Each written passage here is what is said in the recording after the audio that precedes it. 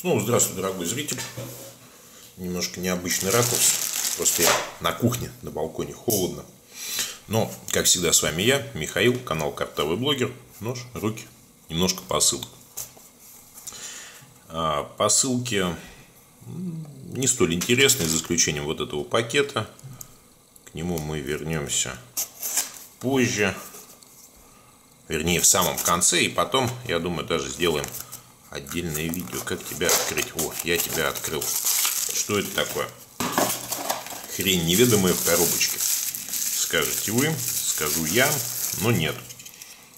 Это неведомая хрень. Единственный продавец, у которого был найден кулер для шуруповерта.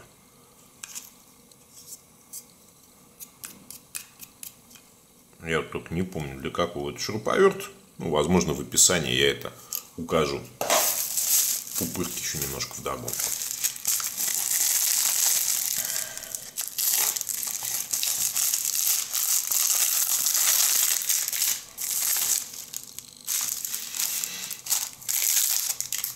Значит,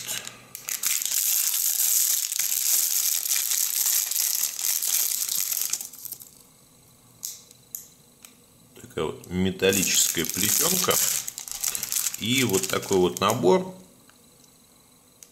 написано вроде как 500, но что-то слабо мне верится. Не особо больших бусинок.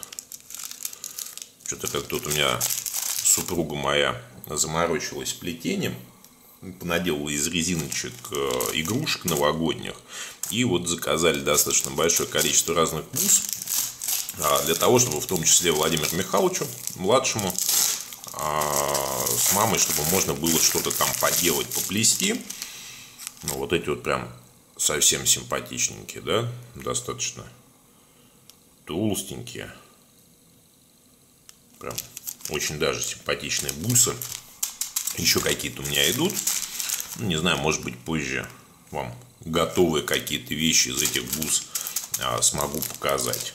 Ну, в любом случае, да, если вы там занимаетесь кройкой, шифьем, там, либо что-то еще, у вас там есть дочь, из которой вы хотите, например, там, вырастить э, рукастую, да, умеющую что-то делать, э, полноценную женщину, да, то, ну, почему нет, пускай шьет, балуется, это гораздо лучше, чем сидеть в интернете.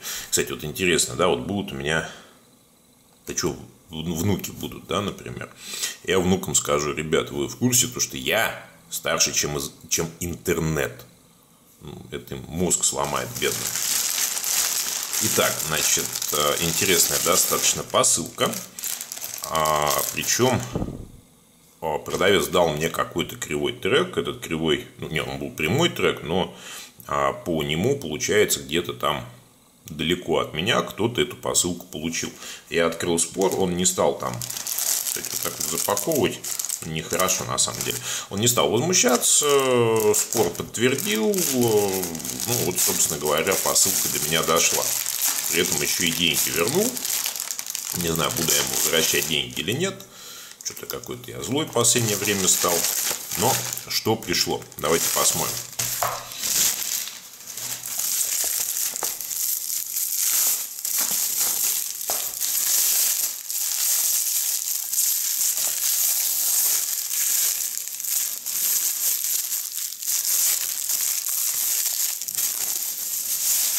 Достаточно просто все это дело упаковано, но при всем при этом особо ломаться тут нечему.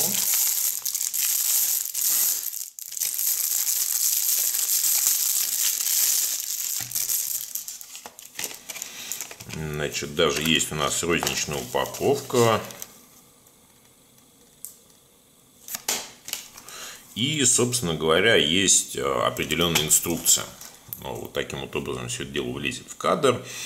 А смысл в чем? Мы берем картошку, берем данную приблуду и делаем из картошки спиральку, после чего эту картошку, ну, они предполагают готовить во фритюре. При всем при этом, видите, есть даже на русском языке. Отлично подходит для приготовления картофельных спиралей. Набор содержит 4 спашки из нержавеющей стали для жарки выпечки картофельных спиралей, а также нож для нарезки картофеля и массивную ручку, изготовленную из прочного пластика. Можно мыть в посудомоечной машине. Гарантия 3 года. Ну и наверху, собственно говоря, нож для нарезки картофеля спиралью 4 спашки. Да, так оно и есть. Спашки здесь 4. Но я думаю, то, что в рамках данного видео а, я не буду знаете, вот не так давно ел я эту картошку, ну, там, да, действительно она а, делалась в заведении, делалась, соответственно, во фритюре, ну, то есть им там не жалко абсолютно масла, все это дело достаточно быстро готовится. А я же хочу чуть позже сделать видеообзор о том, как э, такую картофель, как с помощью такой приблуды приготовить картофель в духовке. Но единственное, помимо вот, вот этих вот э, спажек, э, я, наверное, дойду до магазина, возьму деревянные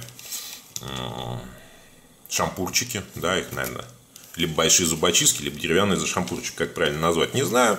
И попробую вам показать полностью процесс приготовления, что из этого получится. Ну, заодно покушать, побаловаться. Почему нет? Ну, просто духовка это более полезно, чем там запекание во фритюре. Ну, и для бюджета в том числе, потому что во фритюре, ну, масло там пару литров залить, вылить. А картофеля, ну, ты много не съешь, ну, сколько ты их съешь, там, ну, три, да, то есть, и из-за этого там 2-3 литра масла вылить, ну, как-то немножко дороговато выйдет, хотя, может быть, в общем, не знаю, да, ожидайте видео, где я буду тестировать данный девайс, э, посмотрю сейчас какие-нибудь рецептики и попробую все это дело заснять. За этим, я думаю, все. Всем всего. Ну и до скорых встреч. С вами был я, Михаил, канал Картавый блогер. Пока.